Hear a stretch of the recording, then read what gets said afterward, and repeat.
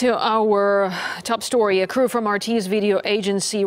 Team der Russia Today Agentur Rapli TV ist in der Nähe von Sloviansk von zwei Truppentransportern beschossen worden. Mehr dazu nun von Lizzie Fallon, Produzentin bei Rapli. Hören Sie mich, Lizzie. Lizzie? Can you hear me? Hi. Yes. so can you Hi. tell us Können Sie uns mehr über den Zwischenfall sagen? Eine unserer Produzentinnen, die seit etwa einer Woche in Sloviansk ist, war zusammen mit Journalisten von Russlands Channel 5 auf dem Weg nach Dimitrovka. Ungefähr zehn Kilometer vor Dimitrovka kamen zwei Truppentransporter mit etwa zehn Mann der ukrainischen Nationalgarde regelrecht aus dem Nichts, denn die Gegend wird momentan von Kräften der Volksrepublik Donetsk kontrolliert. Basically, seemingly out of nowhere because that area is currently under the control of DNR uh. Sie begannen sehr knapp an ihnen vorbei durch die Luft zu schießen. Der Fahrer musste eine Vollbremsung machen, die das Auto beschädigte. Glücklicherweise ist niemandem etwas passiert. Ich sprach vor ein paar Minuten mit der Produzentin und sie sagt, nicht nur in ihre Richtung sei geschossen worden. Die ukrainische Nationalgarde schoss außerdem auf einen Eiscremetransporter, der in der Gegend war. Im Prinzip fuhren die beiden Truppentransporter die Straße entlang und begannen ohne ersichtlichen Grund zu schießen.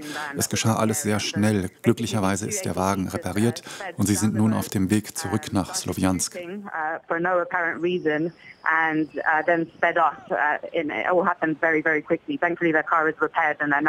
Uh, on their way back to Slaviansk for safety. Well, uh, Lizzie, this is not uh, the first time. Lizzie, dies ist nicht das erste Mal, dass Rapli-Mitarbeiter ins Kreuzfeuer geraten. Unter welchen Bedingungen arbeiten Journalisten momentan in Sloviansk? Work in Sloviansk at the moment. Well, obviously, across uh, the region of Donetsk, it's uh,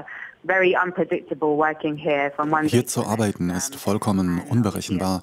Unsere Aufgabe ist es zu versuchen, über die Ereignisse so gut es geht zu berichten und dabei die Sicherheit all unserer Leute vor Ort zu bedenken. Wir stellen sicher, dass sie die absolut beste Schutzausrüstung haben, die unsere Produzentin in Sloviansk zu dem Zeitpunkt natürlich auch trug.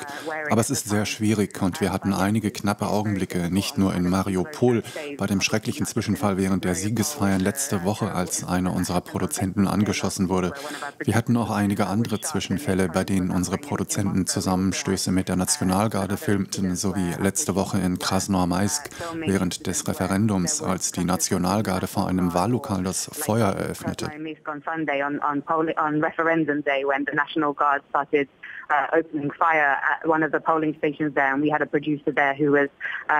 Wir hatten einen Produzenten dort, der das filmte.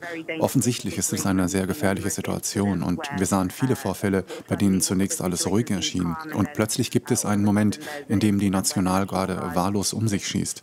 Für uns ist das sehr besorgniserregend und wir müssen das Risiko gut abschätzen. Priorität hat die Sicherheit unserer Leute. Bei zeitgleicher Sicherstellung, dass wir, so gut es uns möglich ist, exakt berichten, was hier vor sich geht.